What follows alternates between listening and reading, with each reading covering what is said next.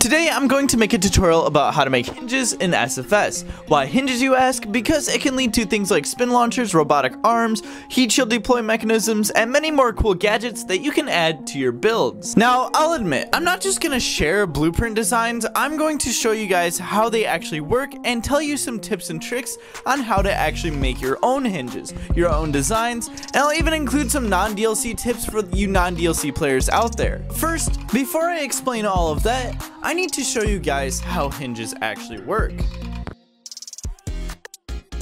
Basically, hinges abuse this thing called colliders. Colliders are what causes your rocket to not go through the ground, as well as not go through other rockets. Basically, what we're doing is we're confining a wheel within a box of colliders. By putting a wheel in a box of parts, we're essentially constraining the wheel left, right, up, and down, but it allows it to rotate still. This is basically perfect territory for making a really good hinge.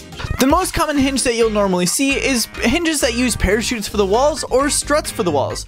In my spin launch video, I used the one that uses struts because the struts are thicker than the parachutes, which means it can withstand more force. But honestly, you can make a hinge out of any part you want. The only thing to keep in mind, however, is where you put this spoke of the wheel. If it clips with any parts, the hinge will seize up and it won't actually work. However, I do have some tips and workarounds that I'm about to show you. I'll start off showing a non-DLC hinge, then I'll move straight into the DLC hinges. This non-DLC hinge I saw someone post in the Discord, and I don't really know who posted posted it. However, it might not look like it works, but it does. When you launch the hinge, the wheel isn't actually clipping with the parachute, so the wheel is free to move around. I also have a really good tip to make this a 360 degree hinge. If you take an extended solar panel and you put it right here, then you retract the solar panel when you launch, you can have the hinge move around freely. Now I'll show you the tips and tricks on how to make DLC hinges. For example, this hinge I made a while back uses edited struts and it only takes up a 2x1 space. The advantage to this is that it keeps the hinge aligned with the rest of the parts. If I need to redock the hinge, I can do so easily,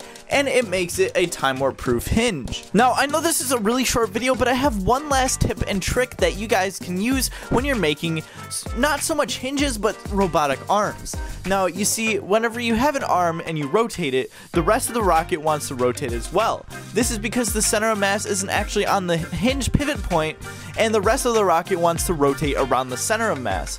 However, you can fix this by taking a negative fuel tank and adjusting it so the center of mass of the arm is on the center of the pivot of the hinge. Now, when you move the arm, nothing else wants to rotate and the arm becomes pretty easy to use. That is all for the video. I hope you guys enjoyed this video. If you realize you're coming back for more content, also subscribe, hit that like, and that's it. I'll see you in the next video.